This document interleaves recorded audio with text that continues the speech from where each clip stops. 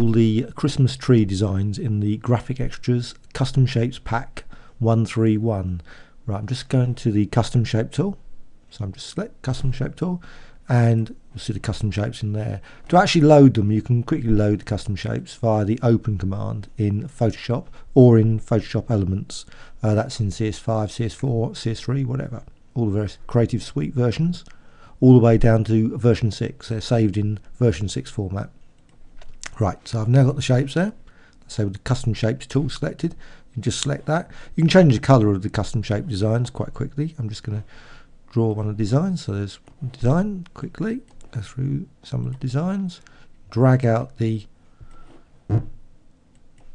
palette. So you can just select design, just drag and drop.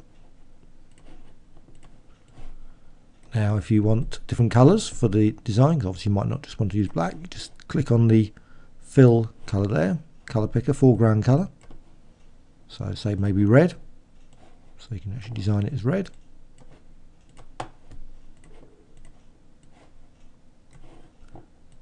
Now, so you've a fair amount of designs that you can use. Of course, you can combine them with other things. So I'm just going to quickly show the rectangle tool, then create background for it.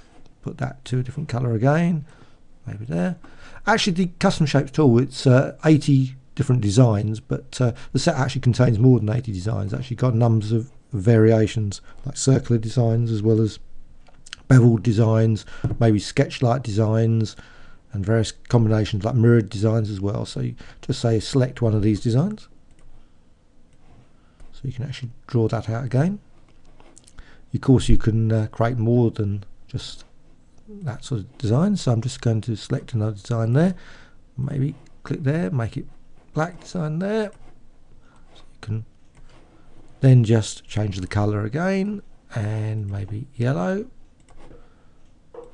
and then draw out the design so you can create a sort of drop shadow effect now you can actually use the custom shapes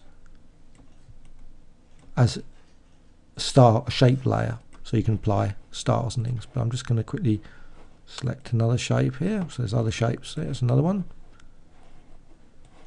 So there's another design. So once you've got that, you can actually go to the layer menu, layer style, add a drop shadow there if you wish.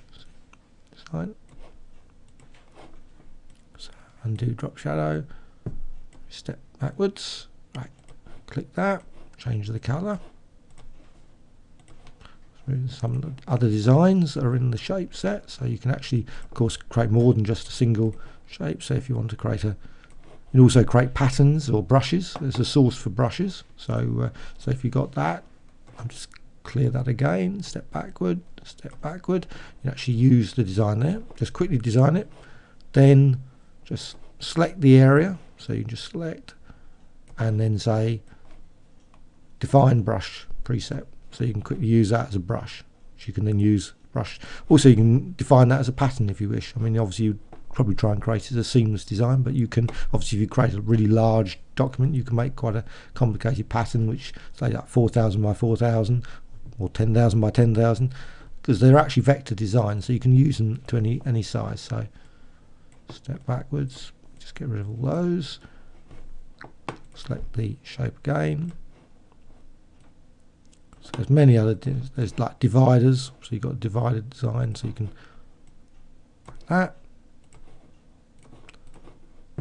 other sort of things. Of course, you can create your own design. So you can obviously, once you've got the initial basic design at the top, so say one of these designs, you can actually apply it as a shape and then apply transformations to create your own sort of circular design if you wish by using various commands that are available in Photoshop.